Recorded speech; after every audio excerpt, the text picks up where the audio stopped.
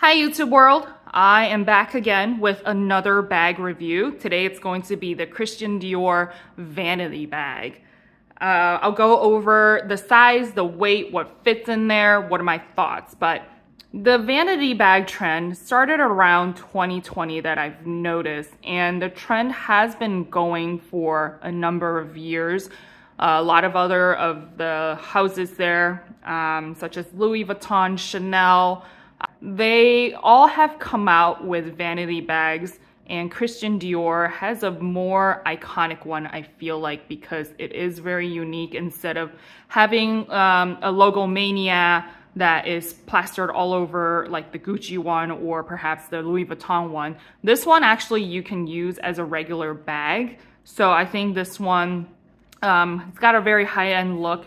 It's not as durable just because it's not a printed or a coated canvas like the Louis Vuitton one, but um, the Christian Dior vanity bag has been used straight up like a cosmetic or skincare bag as opposed to a regular bag, whereas this one is designed specifically to have straps, as you can see the J-rings, and I'll um, take the strap out so that you can take a look in a second here. But um, just to go over the, the size dimensions of the bag, this is going to measure at 7.5 inches.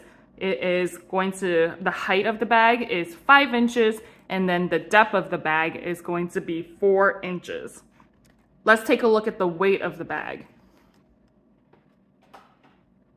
With my scale.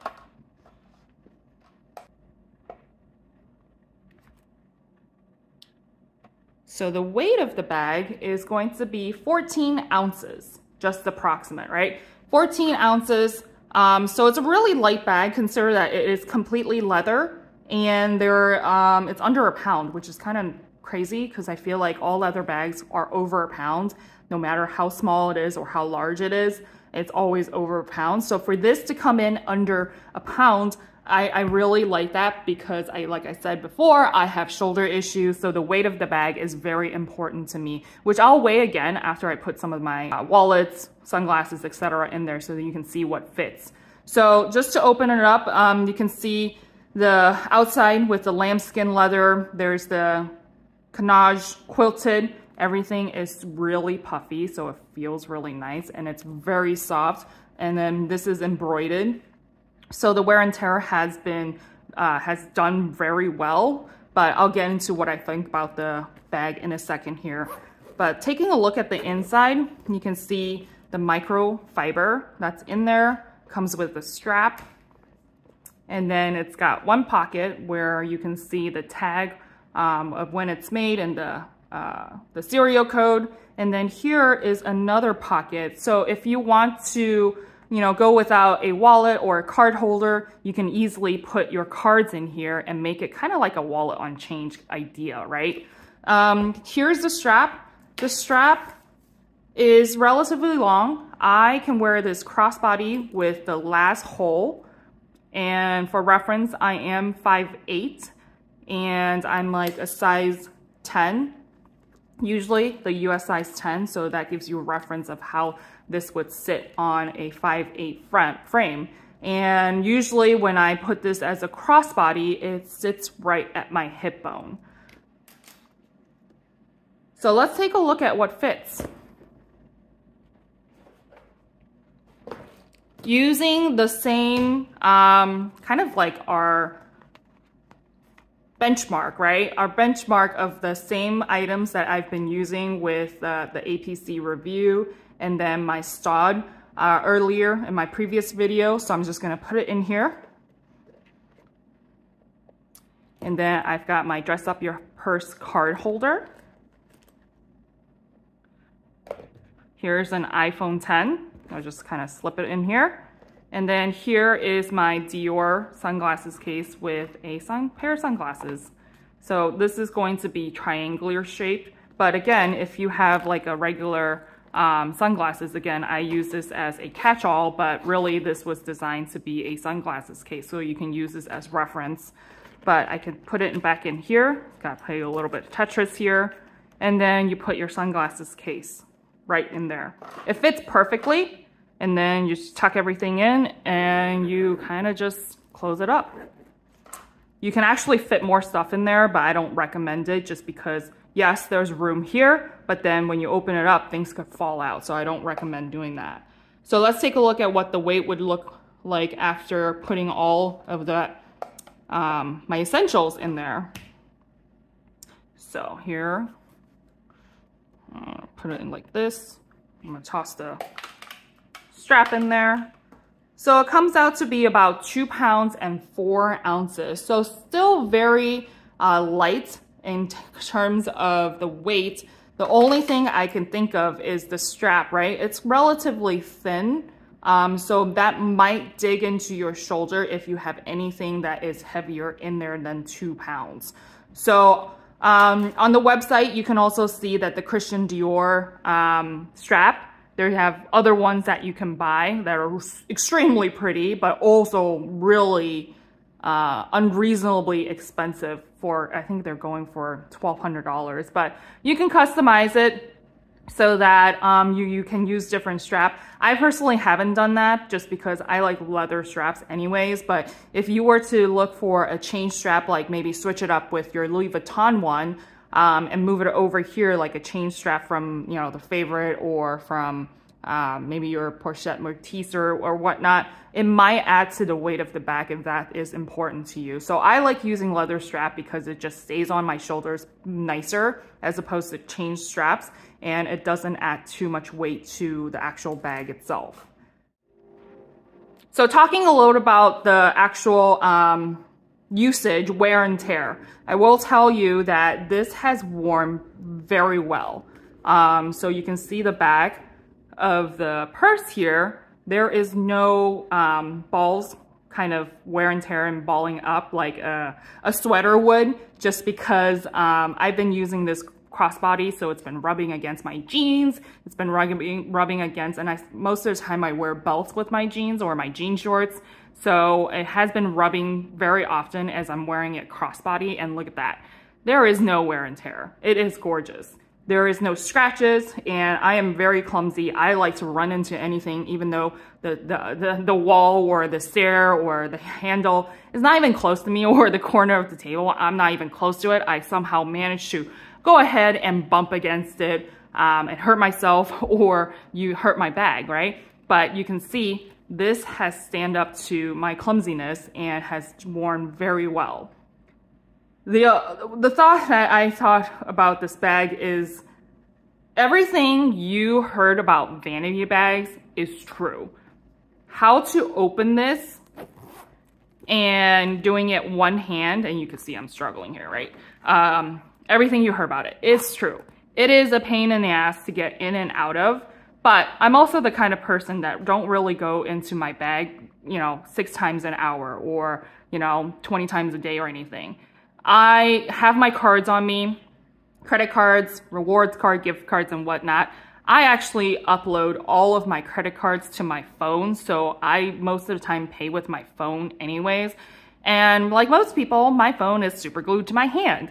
So I can just easily swipe down and then pay um, via, um, you know, Android Pay or Google Pay or Apple Pay, whatever it is, right? So I don't really need to access my bag very often. The only time I would access my bag is to, you know, grab my sunglasses or put away my sunglasses, um, and then also to grab my lipstick or maybe a hand sanitizer. So I don't really access my bag that often. So to me, that is not a problem. But you do need two hands to open this. And for me, if I'm in a hurry, I kind of just rip this thing open, access it, and then opening it is not as bad. Closing it is what's tough. So you gotta kind of like rip it together somehow, like this. And so to me, it's still tolerable. So at the end of the day, if you have to think about your functionality, your lifestyle, how do you access this and see if it fits with your daily uh, usage. So let's talk a little bit about the pricing of this bag. So I purchased this bag off of Rebag. My, I'll probably make another uh, video on my thoughts on Rebag, but this was listed for $2,005.